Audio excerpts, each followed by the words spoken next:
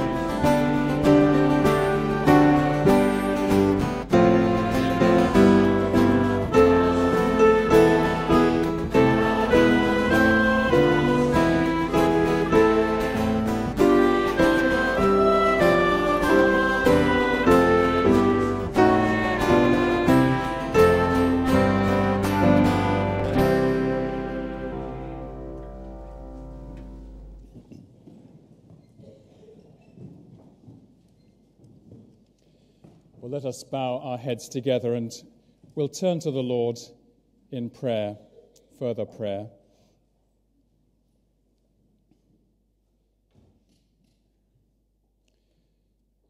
When the Apostle John was in exile on the island of Patmos, he had a great vision of the Lord Jesus in his glory.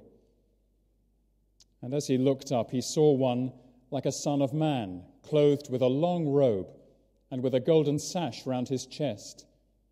The hairs of his head were white like wool, as white as snow. His eyes were like a flame of fire.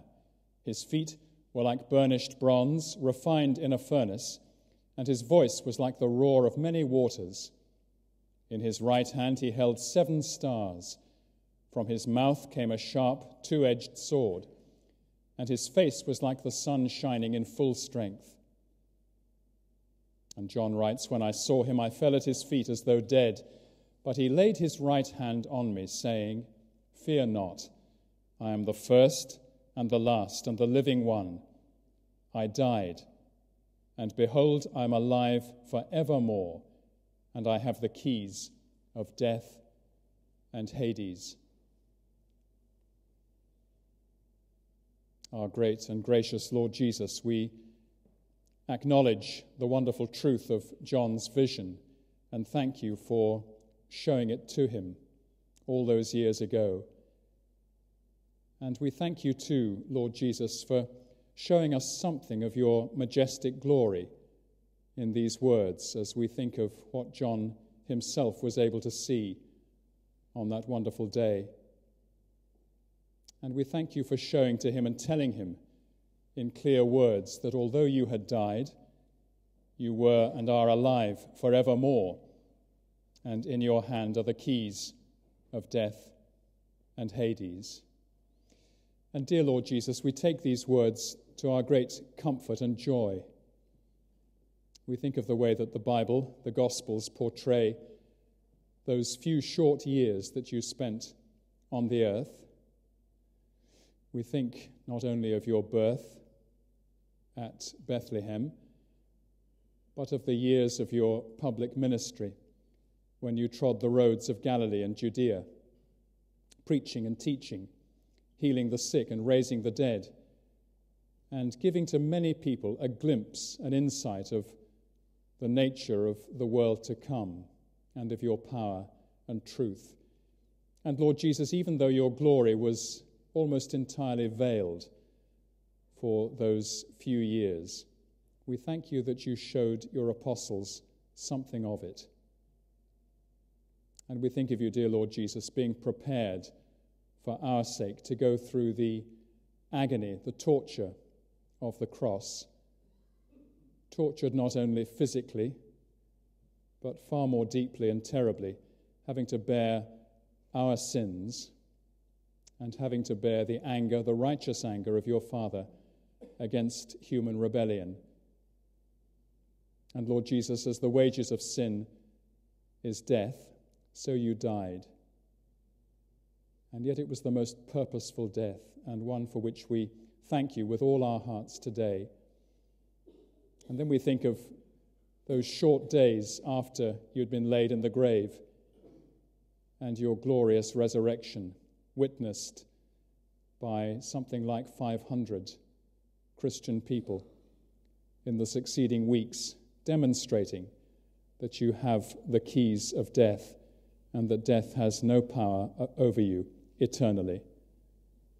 And how we thank you, Lord Jesus, that you've promised to all of us who come to you and trust you that we shall share in that great resurrection victory. That though our bodies here on earth are frail and indeed will die, yet through your grace and love, we shall be able to live with you forever. So, our prayer, Lord Jesus, is that you will strengthen our faith and deepen our understanding of the gospel, that you'll bless us tonight and give us great joy in your presence and in the presence of each other as we worship you. We pray especially for those who are to be received into church membership tonight, that you will give them great confidence and joyful courage as they take this step and as they seek to bear witness to you and your truth in the days ahead. And all these things we ask for your dear name's sake. Amen. Amen. Well, as you know, we have this special admission of uh, new members, and we look forward to that very much. And a particular word of welcome to those who have come along in support uh, of the new members. Some of you, I guess, have come from some distance, and we're delighted to have you all here with us tonight. Trust that you will very much enjoy being here. I think we'll be serving our refreshments as usual downstairs, as far as we know, afterwards. Um, so do make your way downstairs to room five and enjoy uh, a fine cup of tea or coffee and uh, the company of friends old and new as we, uh, as we greet each other afterwards. Good. Well, we come now to our Bible reading, and perhaps you'd turn with me to the book of Judges in the Old Testament, chapter 17. Judges chapter 17, and you'll find this on page 216, page 216.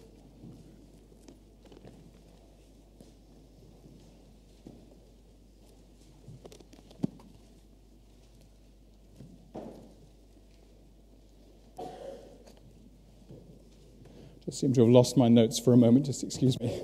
I hope they're in my bag.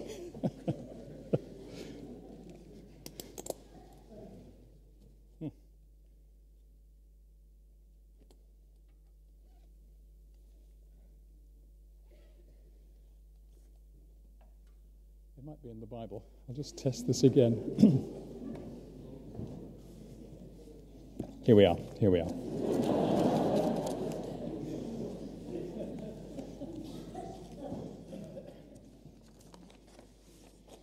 Phew. now, Judges 17 and 18, we're going to read that uh, tonight. but I want to say a little bit uh, about these two chapters by way of introduction first because I hope that by doing so, the story itself will make a little bit more sense as I read it. Now, these two chapters in the book of Judges form one story. The central actors in the story are a man called Micah, who appears nowhere else in the Bible. He's not to be confused with the Micah who, who wrote a, a book of prophecy later on in the Bible. So we have Micah, who is a man of some substance living in the hill country of Ephraim, and we meet his mother as well.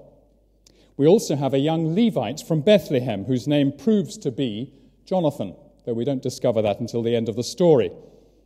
And then we have five spies and 600 warriors from the tribe of Dan. So we might call them Danites. Now, the story itself is not too difficult to follow, but the thing which is not immediately clear is how the reader is expected to evaluate the story the comings and goings of Micah and Jonathan and these Danites, we have to ask are these men behaving well or are they men behaving badly? And the answer is they are men behaving badly, even though they dress up their bad behavior in religious claptrap. Now, the author of Judges has been showing us over the previous 16 chapters how the people of Israel have come to be addicted to idolatry. Again and again, they abandon the Lord their true God, and they begin to worship the fertility gods of the Canaanites. And the Lord chastises them by giving them over into the power of some pagan oppressor.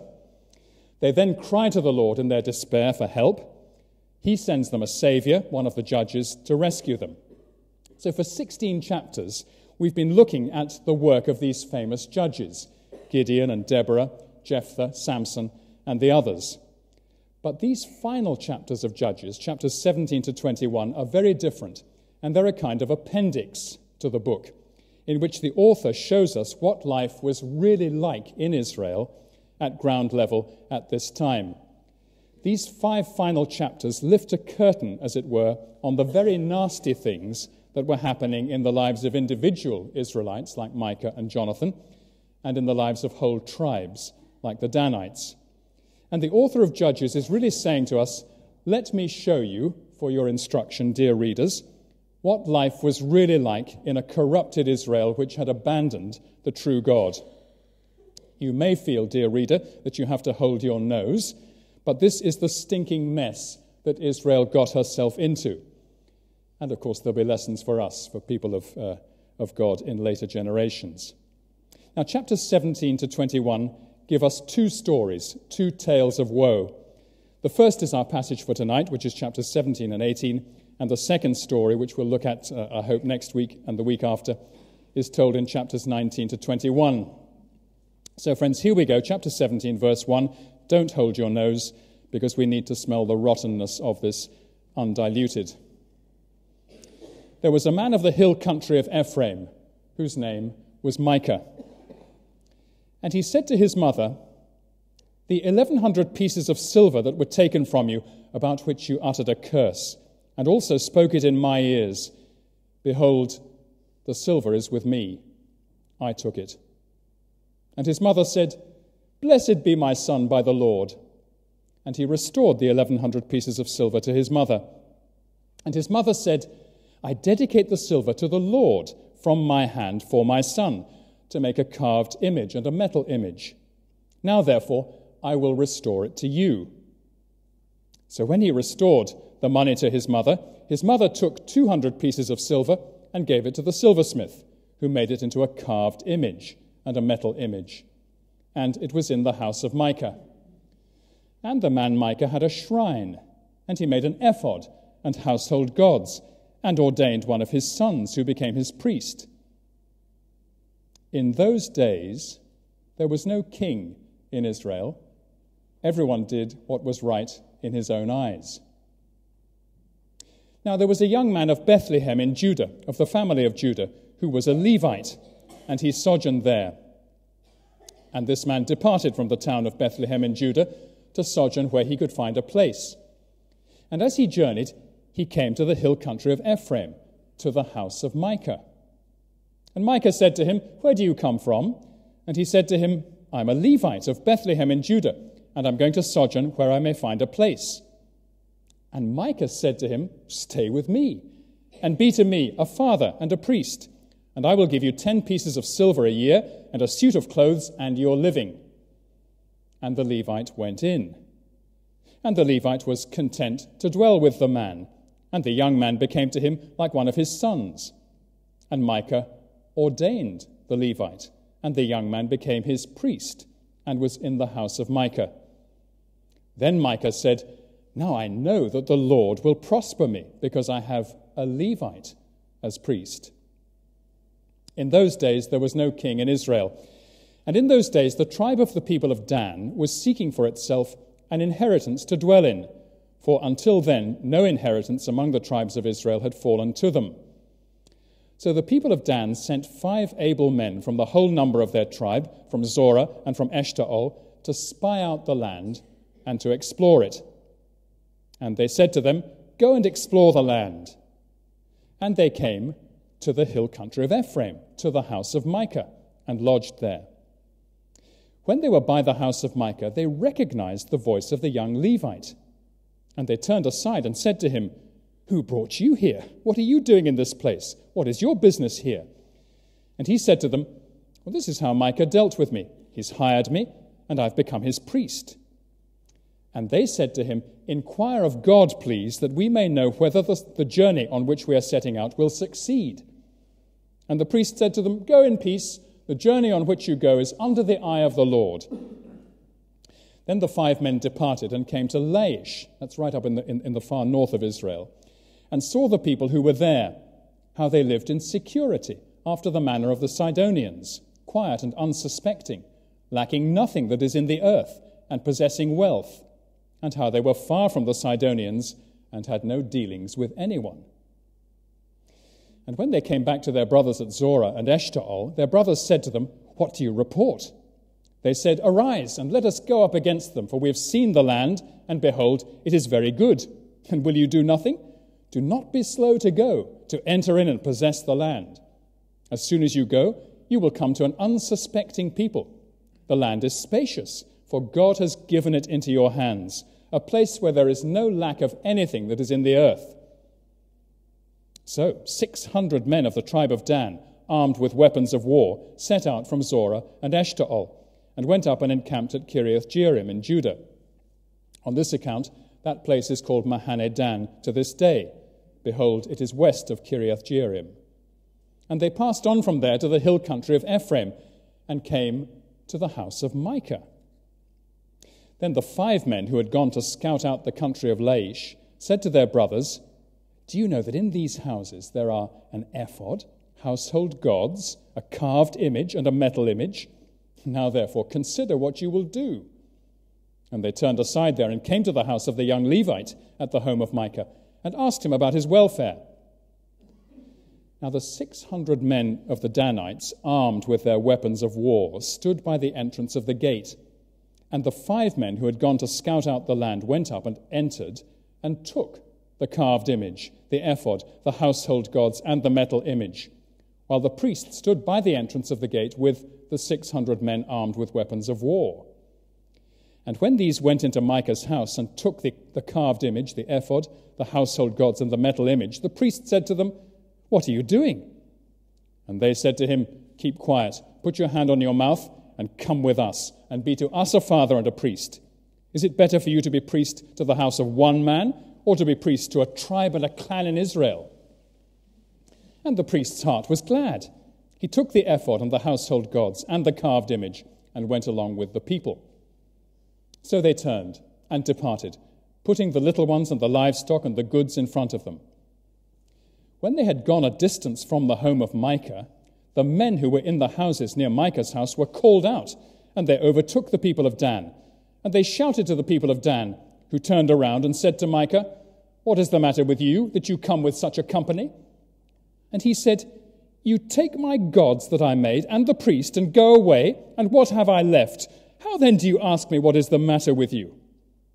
And the people of Dan said to him, Do not let your voice be heard among us, lest angry fellows fall upon you and you lose your life with the lives of your household. Then the people of Dan went their way, and when Micah saw that they were too strong for him, he turned and went back to his home. But the people of Dan took what Micah had made, and the priests who belonged to him, and they came to Laish, to a people quiet and unsuspecting, and struck them with the edge of the sword, and burned the city with fire. And there was no deliverer, because it was far from Sidon, and they had no dealings with anyone. It was in the valley that belongs to Beth Rehob.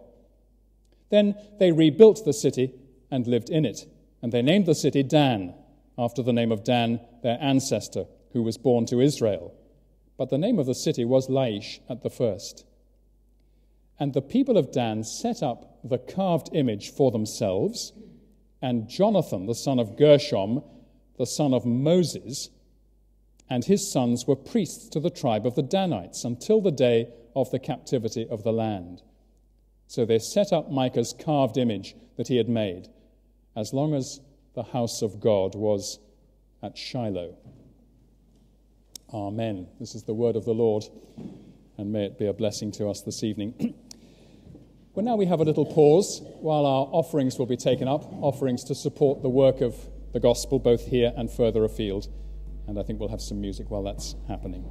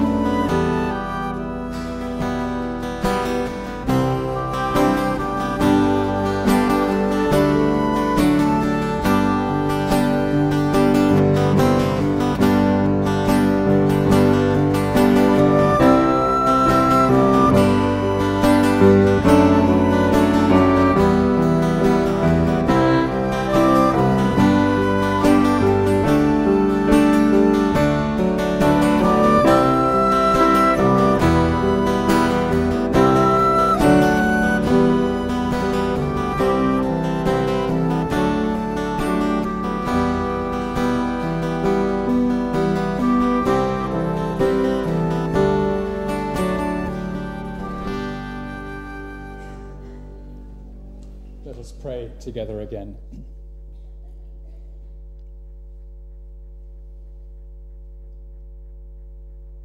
Dear God, our Father, you have been so generous to us, and you are generous to us, wonderfully so, day after day. And as we bring to you these gifts of money, which we want to offer for the support of gospel work, we want also to offer our lives everything that we are, our minds and bodies, such skills and talents as we have, we do want to ask you to take us and use us. Help us to be unashamed and bold as we seek to bear witness to the truth about you and about the Lord Jesus. And we ask these things in Jesus' name. Amen. Well, let's turn in our hymn book now to number 158. 158.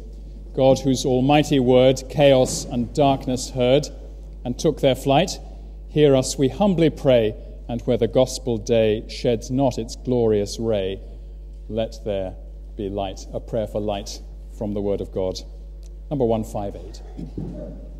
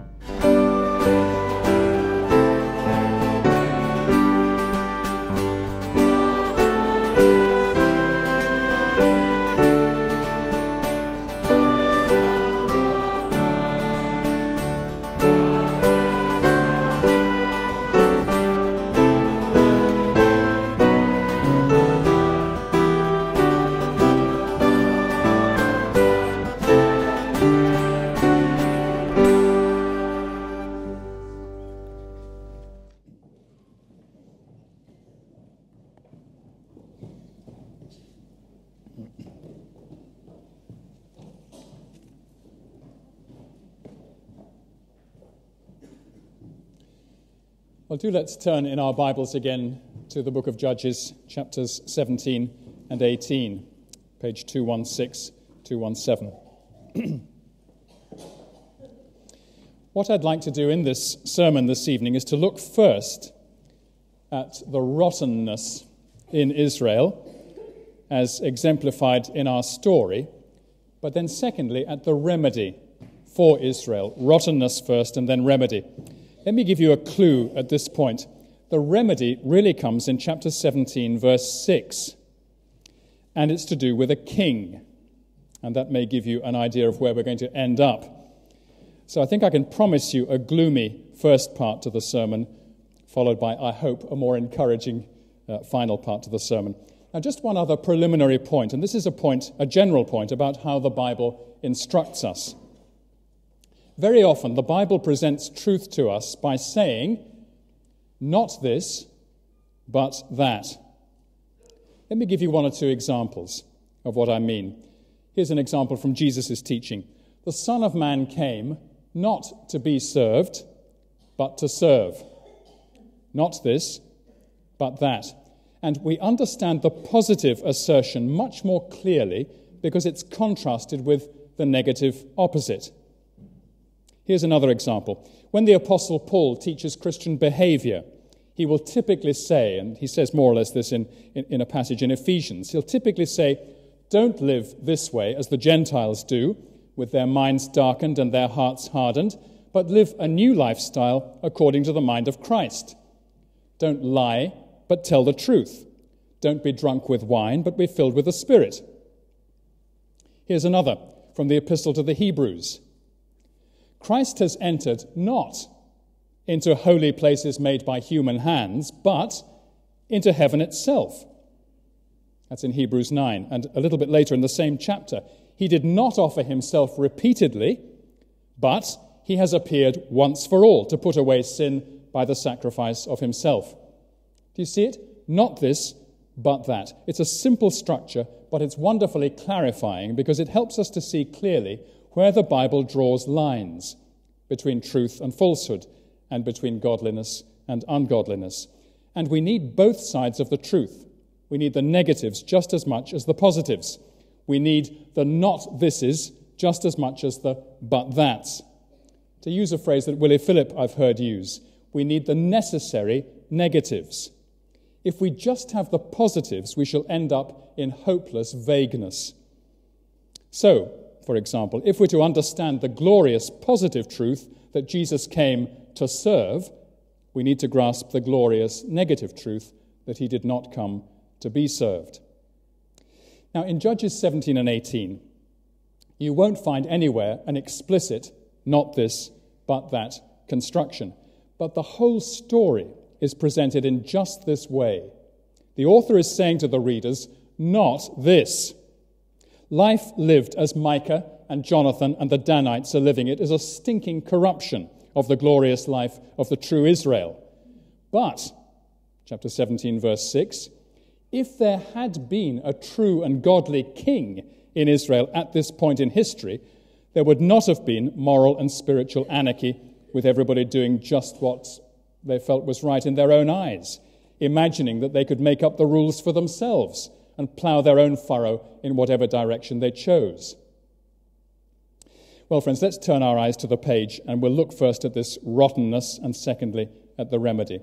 Let's notice three aspects of the rottenness. First, these Israelites show a reckless contempt for God's law.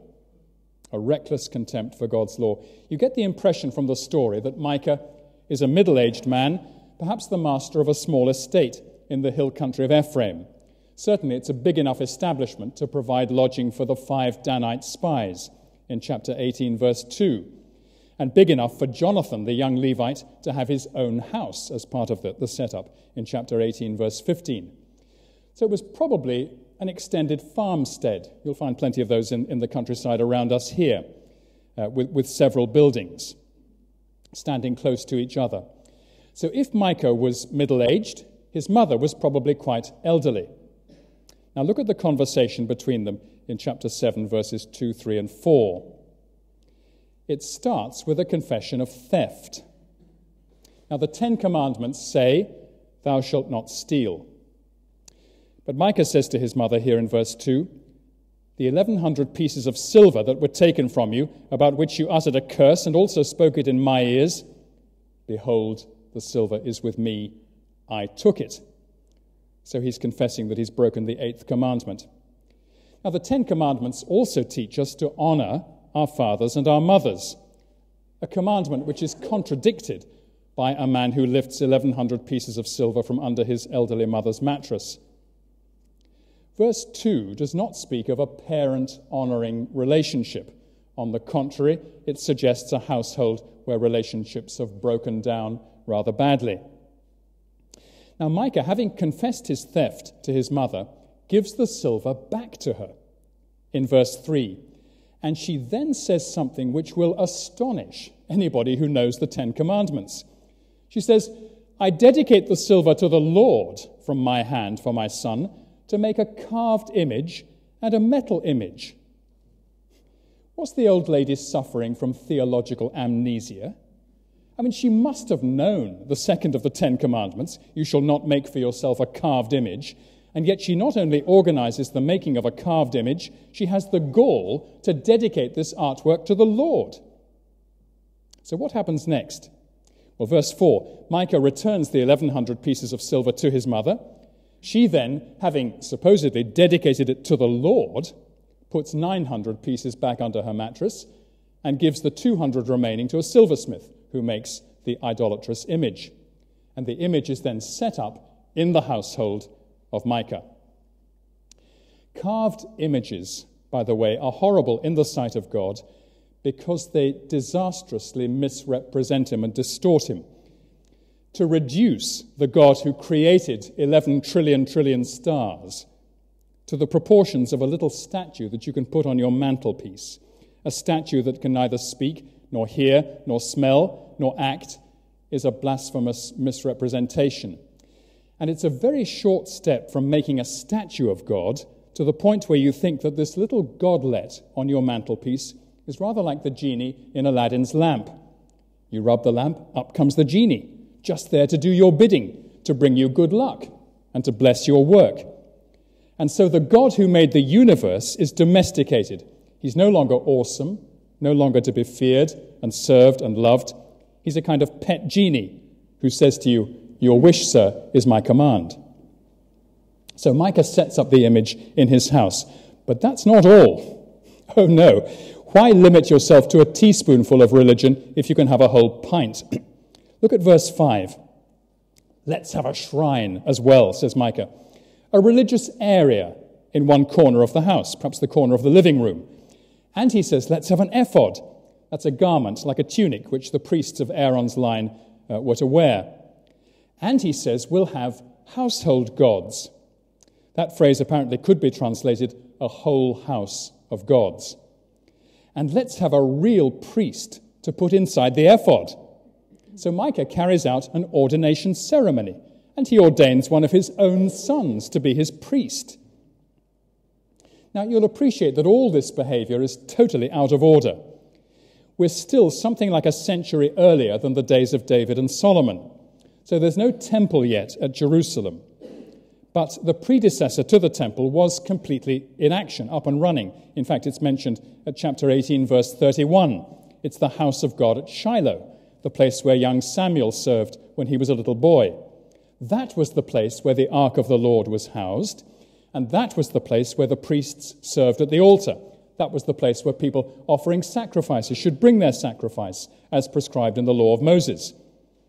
The law of Moses is very clear that Israel is to express her faith centrally at the house of the Lord, according to the regulations laid down in the book of Leviticus. And the priests were all to be drawn from just one tribe, the tribe of Levi. Micah was not uh, uh, uh of the tribe of Levi, and so for him to ordain his own son as if he were a, Le- a Levitical priest was to do exactly as verse 6 puts it. Everyone was doing what was right in his own eyes, not in the Lord's eyes. So Micah is running a coach and horses through the law of Moses from verse 2 to verse 5, and his mother and his young son are colluding with him. But that's not all. The story develops apace in verse 7. A young man just happens to turn up at Micah's house, and he is a Levite of the tribe of Levi from Bethlehem. He seems to be footloose and fancy free, and he's going wherever the wind blows him. Micah says to him in verse 9, Where do you come from? Oh, he says, I'm a Levite from Bethlehem, and I'm happy to stay wherever I, I can get board and lodging. A Levite? Ho ho! Micah's mind begins to work rather quickly. Maybe Micah is a little bit uneasy about having ordained his non Levite son as a priest. So he says, in a kindly and generous kind of way, Look, young man, stay with me and be my priest, and I'll give you a very good deal. 10 pieces of silver per annum, quite a lot, a new suit of clothes per annum, many of us could do with that, couldn't we? And board and lodging.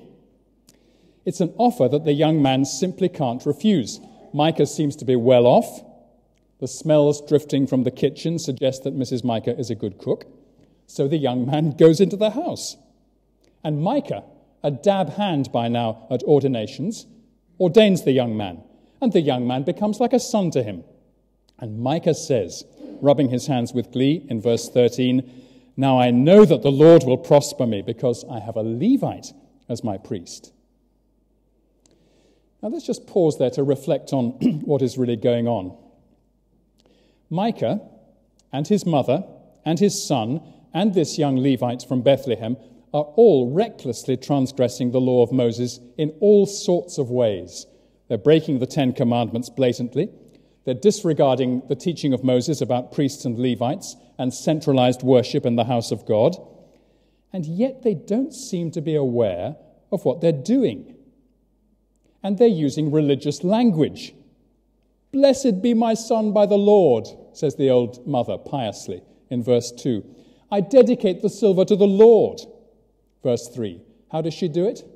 By crashing her way through the Ten Commandments. It shows what can happen to people who have sprung from an environment of real faith, but have actually turned their hearts against the Lord. They can use the language of faith while denying the reality. I think of this in terms of us today. A family today could have real Bible taught Christian faith in the parents' generation.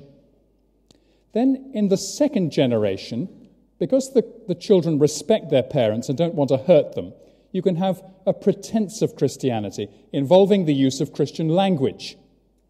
But in the third generation, the family has descended into open agnosticism. Now, in Britain today, there are plenty of real Christians, thank God. And there are plenty of whole families of real Christians where the children and the grandchildren really trust and love the Lord.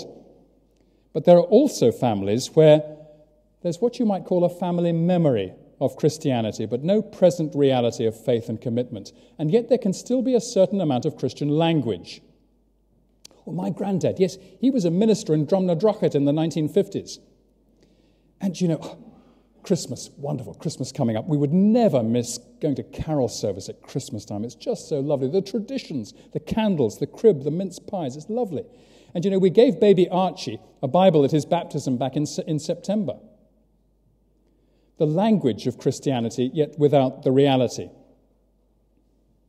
Well, there's the first thing. Let's turn now from a reckless contempt of God's law to a second element in this picture of national breakdown, and that is a false perception of providence. Let's look at this first from Micah's point of view. Let's try and put ourselves in the shoes of Micah, perhaps as Micah looks back over the years um, with hindsight after the events of chapter 17. He might say, How the Lord has blessed me. I'd stolen mother's silver, that's the truth, and she had cursed the thief, which was yours truly. And yet, God blessed me so much through the confession of my sins. My mother forgave me, bless her little socks, and as a result, her prayer life was renewed and her generosity to the Lord was opened up. Doesn't the Bible say God loves a cheerful giver? And her generosity, it all led to the establishment of my shrine and my idol dedicated to the Lord. And what happened next? Was this a God incident or what? The Lord sent me a Levite so that now I could have a real priest. Look again at verse 13. Now I know that the Lord will prosper me because I have a Levite as priest. Now let's look at this from the point of view of the Danite warriors as we go on into chapter 18. The Danites might have said, as they looked back in later years, they might have said, it was wonderful, wonderful. Just like Moses sending the spies up into Canaan, we sent our spies up into the far north, up into Laish. But how kindly the Lord provided for us. Our spies, as it happened, took bed and breakfast at the house of Micah, and they recognized the voice of a young Levite there. Some God incidents that was. And he was a real priest. So our men asked him to seek God's guidance for, for their mission. And he came straight out with it. He said, verse 6, Go in peace. The journey on which you go is under the eye of the Lord. Isn't God good?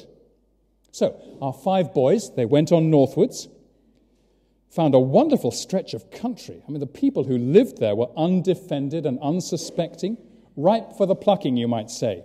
So, our spies came back with a really good report. They said, The land is very good.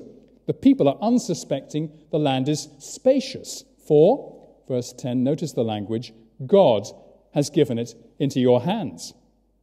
So we set off with an army of 600 people The Lord blessed our every move. We called at Micah's house. We took his carved image, which would be a wonderful protector for us, and we persuaded the young priest to come with us. We said to him, verse 19, Isn't it better for you to be priest to a whole tribe than just to one household? And the Lord put it into his heart to follow us. Micah, of course, he was upset but the interests of a whole tribe surely weigh more heavily than the interests of a single household. And when we got to Laish, it was as easy as falling off a log. The people put up no resistance. We burned the city down, but later we rebuilt it and we called it Dan. And we established the now very famous Shrine of Dan, complete with carved image. And, best provision of all, our priest was not just any old Levite he turned out to be, verse 30, a descendant of Gershom, the son of Moses. If any migratory venture was ever blessed by the Lord, it was surely ours. Now, friends, you can see I've been speaking rather ironically, but I've been speaking like that because the account itself is written with heavy irony. We're supposed to read it that way. The key to understanding what the author of Judges is saying comes in chapter 17, verse 6. Everyone was doing what was right in his own eyes. Now, that sentence is not ironic. That is the true view of things. That's God's view of things. So, Micah and his mother, and Jonathan, the so called priest, and the Danite warriors, despite their Lord this and Lord that language, they are religious anarchists. They're following simply their own plans and desires, and they're pretending to themselves that the Lord is blessing them and that they're following his will, while actually they're doing no such thing at all. Now, isn't this a warning to our own hearts? These chapters show us that it's possible to pretend to ourselves that we're following the Lord when in fact we're simply doing what is right in our own eyes. Let me give just one example of this kind of self delusion, and I've come across this once or twice. It's possible for a Christian man to go through a rocky patch in his marriage. He tires of his wife, finds her difficult or irritable, assumes that it's all her fault. And while this is going on, he falls in love with another woman, a Christian woman. So he divorces his wife and he persuades this other woman to marry him. And then he says, How the Lord has blessed me. I now have a wife that I get on really well with. But the man has just broken the commandment against adultery. The Lord hasn't blessed him. The man is reading his personal story through spectacles of self deception. That's what Micah did. That's what the Danites were doing. But the true assessment of all these events is given us in that final sentence of chapter 17, verse 6. How then can we know if our conduct and our life is blessed by the Lord? How can we know that we're not deceiving ourselves? Surely the answer is by measuring our conduct against the standards that are taught here in the Bible. If we are learning to love the Lord and to love his ways as the Bible teaches them, of course he will bless us. Now, his blessing may include episodes of pain and difficulty, as it did in the, in the life of Joseph, for example, or the Apostle Paul but we shall be under his providence. And at the end of our lives, we shall be able to trace the kind provisions of his guiding hand. Well, now let's notice, thirdly, and very briefly, how the actors in our story have a foolish reliance on the trappings of religion. This is one element in false religion, a foolish reliance on the trappings of religion. Micah wants something that he can touch with his hands and look at with his eyes. He wants a solid silver statue. And he wants a special place for his religious activities. So he makes himself a shrine.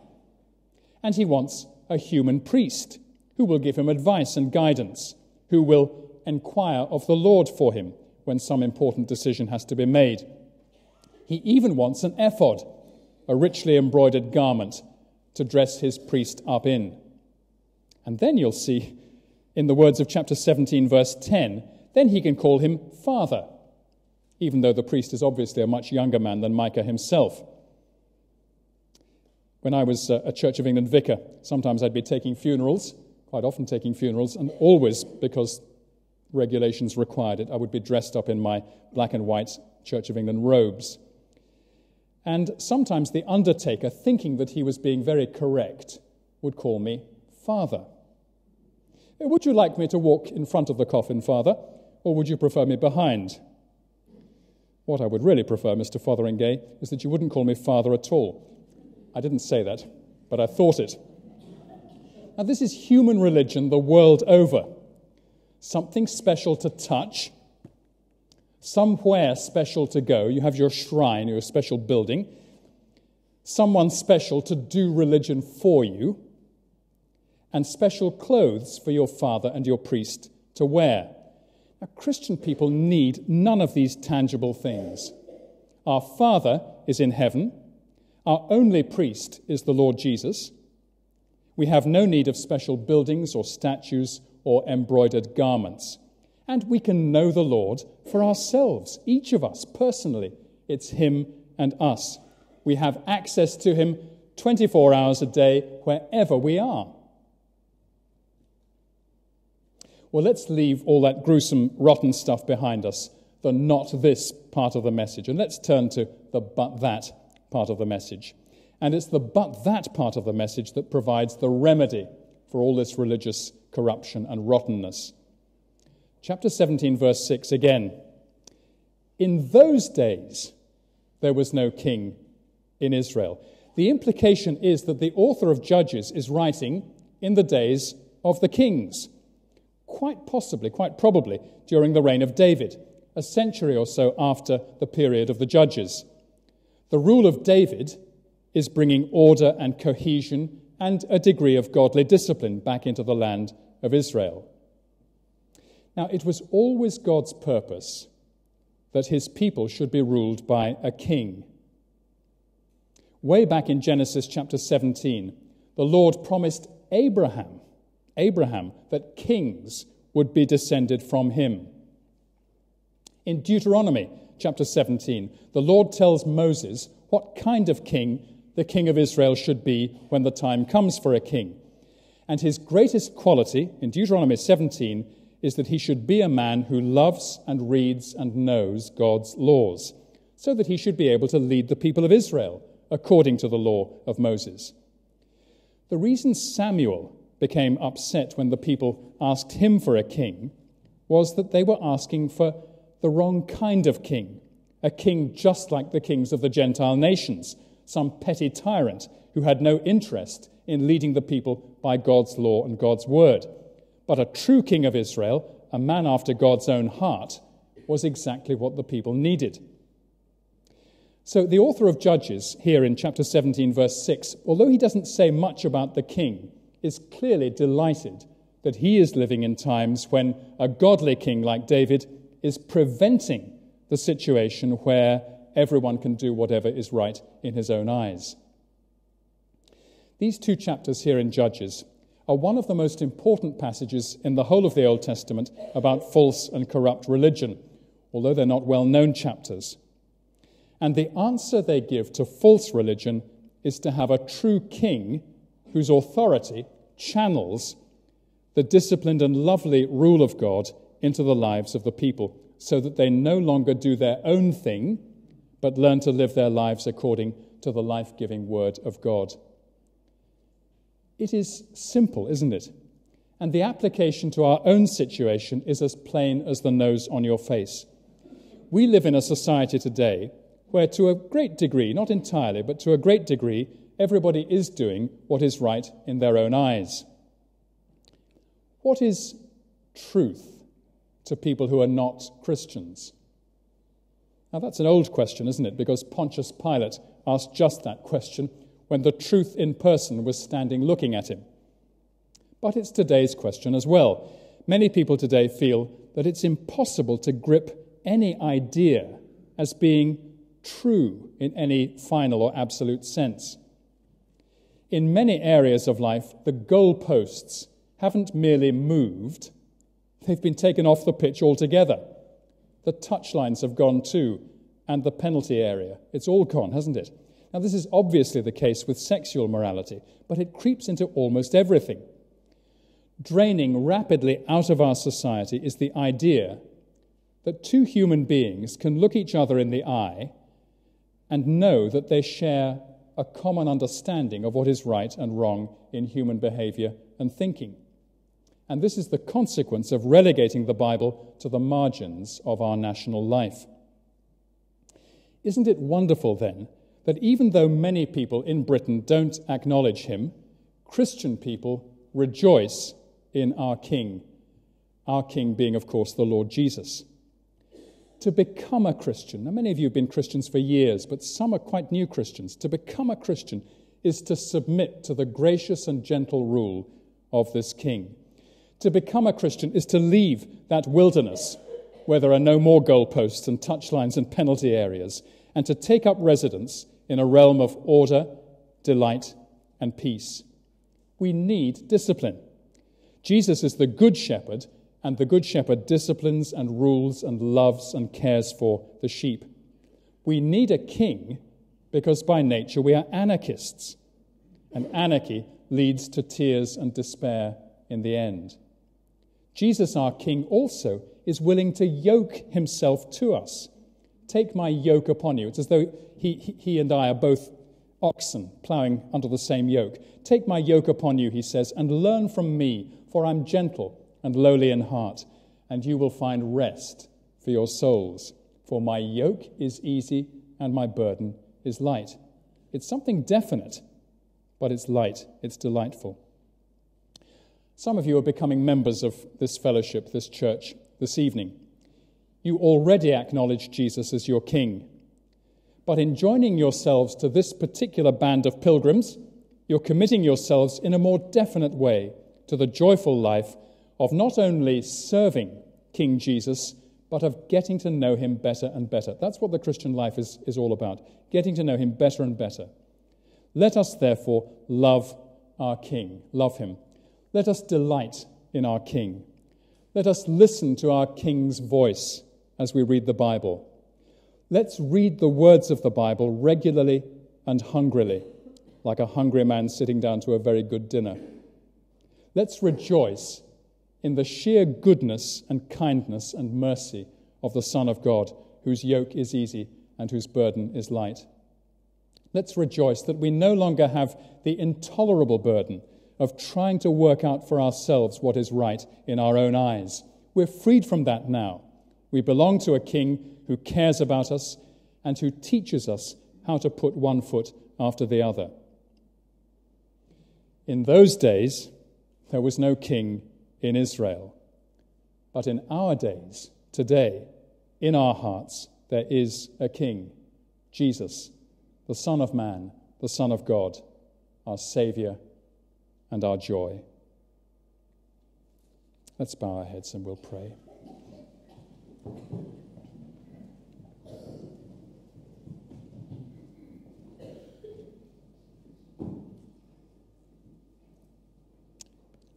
Dear Lord Jesus. We confess that there are indeed areas within our hearts and lives where we are still in rebellion against you. But our prayer is that you will more and more conquer our hearts with your wonderful love and kindness to us. Fill our minds and our thinking more and more, we pray, with the wonder, the greatness, the delightfulness, and the glory that is you. And deepen in our hearts a hunger to know you better and better, we pray. That, that the marks of your lordship in our lives should be more and more seen, and that others should be drawn to you. And we ask it to the honor and glory of your great name. Amen.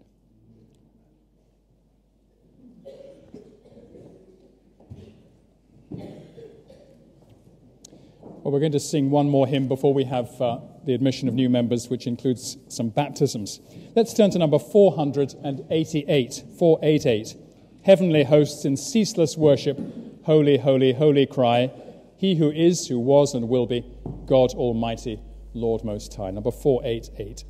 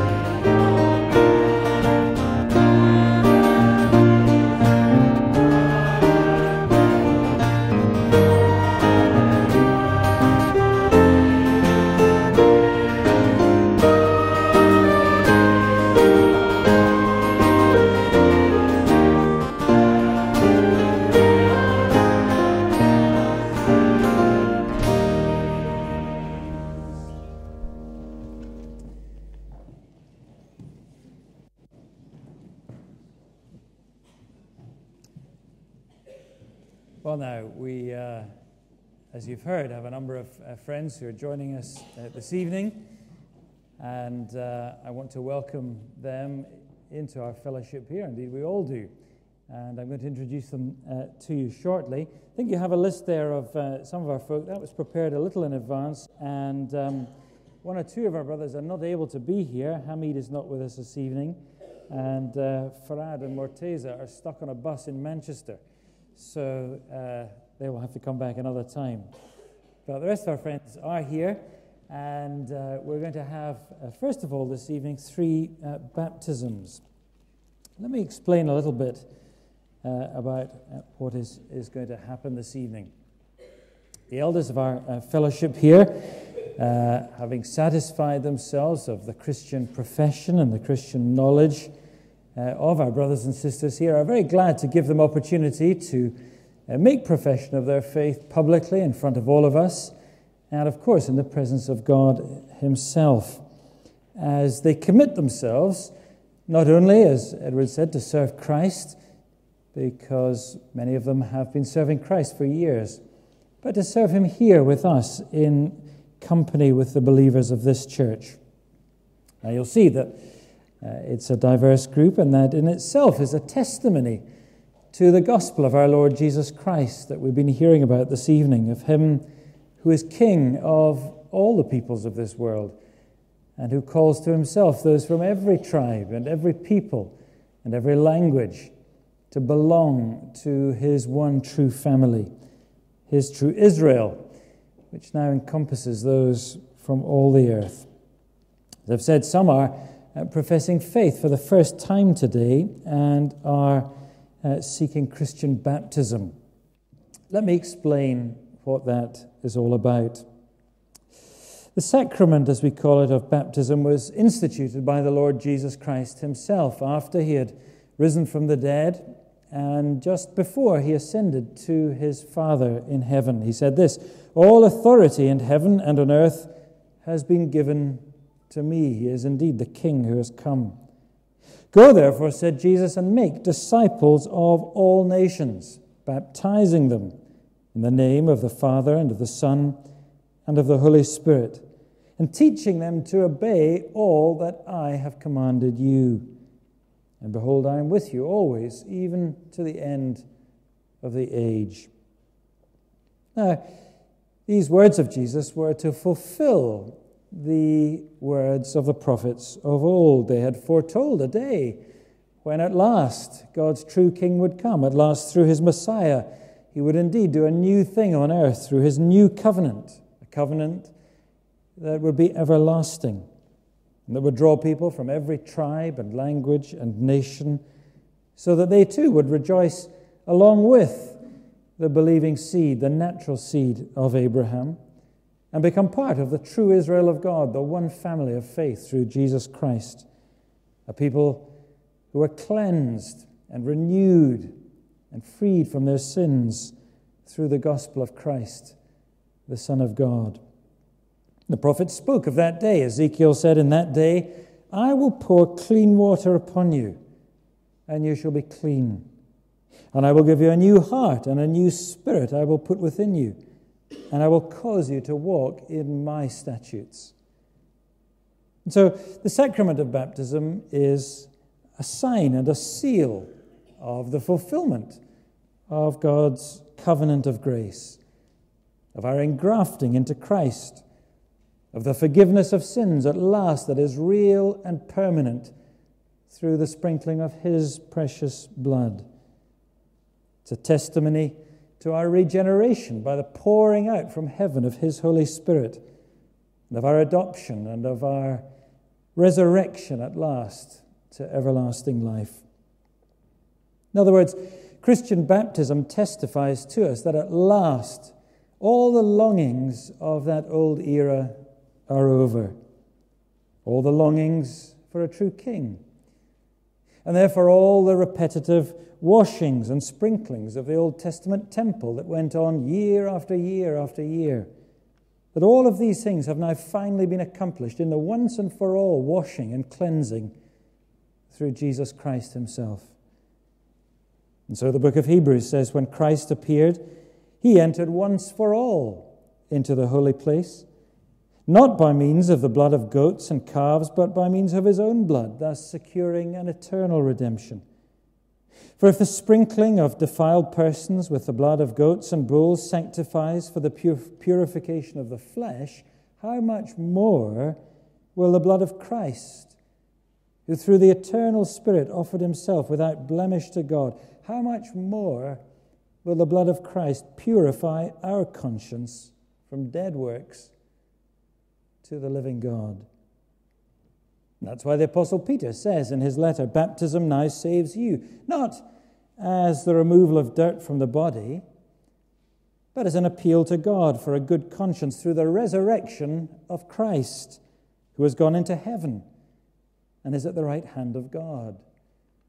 It is Christ's appeal as the risen Savior and the great high priest that saves us because of his death for our sins and his resurrection for our justification. So, baptism simply preaches to us visibly and wonderfully the true gospel. It says to us that everything God promised, He has now fulfilled once and for all in the finished work of Jesus Christ. It's a visible word that reminds us that in Christ alone our hope is found, that nothing else is needed, that nothing else is possible. No gods, no statutes, no special places, no special people. Just the grace of God poured out to us through the Lord Jesus Christ and poured out upon us as we believe by His Holy Spirit, who brings us to newness of life through the proclamation of His gospel. And so, brothers, I'm going to ask you to step forward here. Come to the front here, all three of you. Now, Mustafa, you're coming first. Okay. Just before I, I uh, baptize, you, let me ask you all together. Come, come here together because I want, I want you to confess your faith in front of everybody. Now, we've been through this, so I, I know you know what I'm saying, even though I'm not doing it very well in Farsi. But do you confess God as your Heavenly Father and Jesus Christ as your Savior and Lord, and the Holy Spirit as your sanctifier? And do you repent of your sins with a humble heart and put your trust in the mercy of God which is in Christ? Well, with great joy, therefore, brothers, I'm going to baptize you in the name of the Father and of the Son and of the Holy Spirit. So, Mustafa, you first. Mustafa, I baptize you in the name of the Father and of the Son and of the Holy Spirit. May the blessing of God Almighty, Father, Son, and Spirit be upon you and remain with you now and always. Amen. Now, Reza, you're next. Grab, you're here. Okay. Mehrab, I baptize you in the name of the Father and of the Son and of the Holy Spirit. The blessing of God Almighty, Father, Son, and Holy Spirit be upon you and remain with you always. Amen. Now, brother, I baptize you in the name of the Father and of the Son and of the Holy Spirit. The blessing of God Almighty rest upon you and remain with you always. Amen. Our brothers, the Lord bless you and keep you. The Lord make his face to shine upon you and be gracious unto you. The Lord lift up the light of his countenance upon you and give you peace. This is a day of great significance for you. And we know that for you to have trusted and believed and obeyed the Lord Jesus Christ means something very great and has cost you very dearly. And we rejoice. And we're privileged to call you brothers. and we're glad to admit you into fellowship in our congregation here. Would you come along and uh, stand at the front here so folks can, can see you? And let me introduce the others here who are uh, joining us uh, this evening in our fellowship. Where are we now? Amy, would you come forward? Amy Boardman. Amy is from uh, the very far south of England, from Dorset. Uh, she studied uh, economics and international development at Bath University and then found her way up to Scotland. And she now works for Matthew Algie, the coffee company in Glasgow, where she uh, advises them on sustainability projects. And uh, Amy, we're delighted to have you here with us in the fellowship and delighted that you're joining us uh, this evening. Gillian. Gillian Campbell is a Glaswegian. She comes from Bearsden. She studied at the University of St Andrews in her preclinical medicine and is now back here in Glasgow, uh, continuing her med- medical studies. And Gillian, we're delighted uh, to welcome you this evening too. Uh, Jamie. Jamie Dixon is a first year uh, law student here in Glasgow. He is born and brought up. they, make them, they make them tall in Aberdeen. but I can remember Jamie when he was just this size because He's the son of our very good friend, the Reverend Peter Dixon, who was preaching to us here uh, just a few weeks ago. So, Jamie, welcome. Mairead Dodds. Mairead is uh, uh, from Glasgow here and uh, has been a Christian for many years, but uh, more recently was finding it difficult to, to travel to the church where she previously worshipped. She came to our, our Ladies' Bible study in the morning here on Mondays and made many friends and then found her way into our fellowship here. And uh, we're delighted that you've done so and delighted that you found a home here. Mairead has had a, a, a, great involvement for many years in the land of Malawi. And uh, she's a great sewer and uh, is engaged in sewing projects for Malawi and uh, is very keen to uh, recruit anybody who's a dab hand with a sewing machine. So if that's you, speak to Mairead afterwards and she'll be delighted uh, to recruit you. Then uh, David, David Fleming. David's parents are from Glasgow, but he grew up down in England and uh, doesn't sound terribly Glaswegian, but uh, we know he's got the genes that count. David uh, has come back to Glasgow just uh, in this last year, having spent many years working in Scandinavia, working in Norway, and uh, has found fellowship with us here and a home. And David, we're delighted and we're very, very glad to welcome you this evening. Then Rebecca. Rebecca Naismith is uh, from Edinburgh. Uh, she studied at St Andrews University and then went back to Edinburgh, where she was uh, an apprentice at Charlotte Chapel Church there and was a student with us at Cornhill a few years ago. But uh, now she's moved through to Glasgow to do uh, teacher training and uh, has discovered that Glasgow's miles better. So we're delighted, Rebecca. And Julia has also done the same thing, moving through from Edinburgh to Glasgow. She is a current student uh, in the Cornhill training course. She works part time as an architect in uh, Linlithgow and uh, has moved through to Glasgow this year. And uh, Julia, we're delighted to welcome you as well into the life of the church here. And last but certainly not least, Jim, uh, Jim Smith, who has uh, been coming along to Bible studies here at lunchtime, going back quite a number of years, I think, perhaps when Phil Copeland and Andy Baxter were first doing them and uh, has become a regular here in our fellowship. And uh, Jim, we're delighted uh, to welcome you as well. So I'm going to come down and uh, stand in front of you all. And uh, I'm going to ask all of you to stand as well as a congregation because these vows of membership that I'm putting to all of our new members are the vows that all of us who are already members here uh, have taken at some time in the past. And every time we have new members joining us, it's not just them taking the vows, it's us reminding ourselves uh, of the covenant that we've made with the Lord and with one another uh, to serve Him here. So we're standing uh, not just to support you, but to remind you that the things that you're affirming here are things that we all are affirming with you before God uh, and before everyone here. So let me ask Do you believe in one God, Father, Son, and Holy Spirit? And do you confess Jesus Christ as your Savior and Lord? Do you promise to join regularly with your fellow Christians in worship on the Lord's Day? Do you promise to be faithful in reading the Bible and in prayer? Do you promise to give a fitting proportion of your time and your talents and your money for the church's work in the world?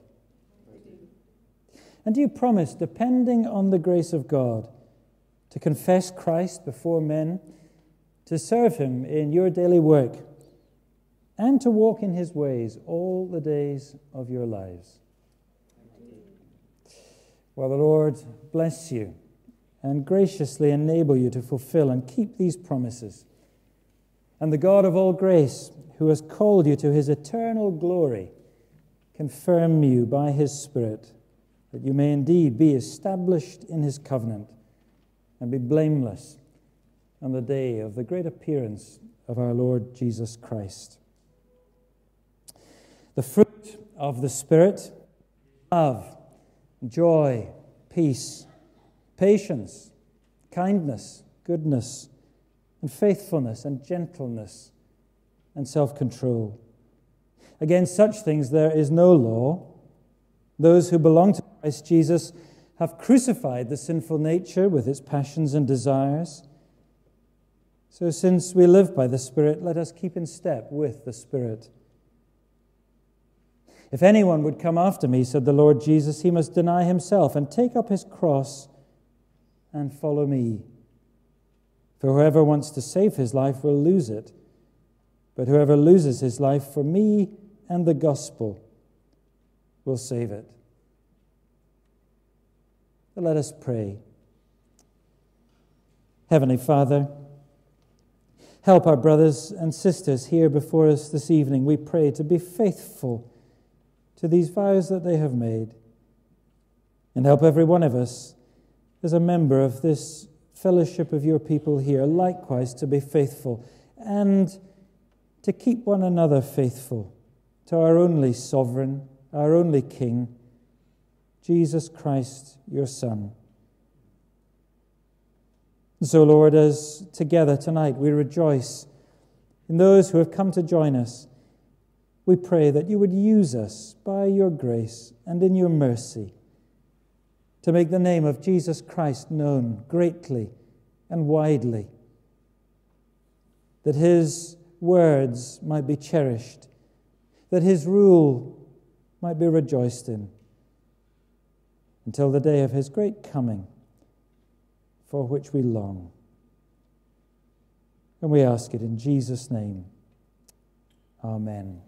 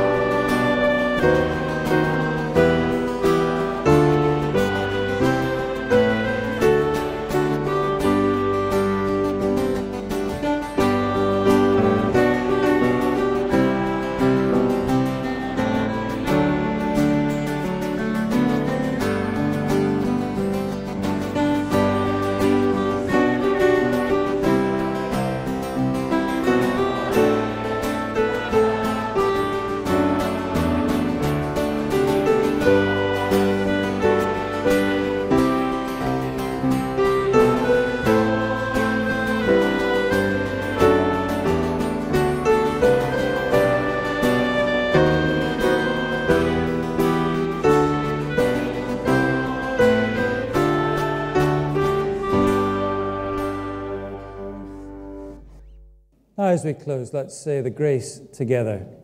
The grace of our Lord Jesus Christ, the love of God, and the fellowship of the Holy Spirit be with us all. Amen.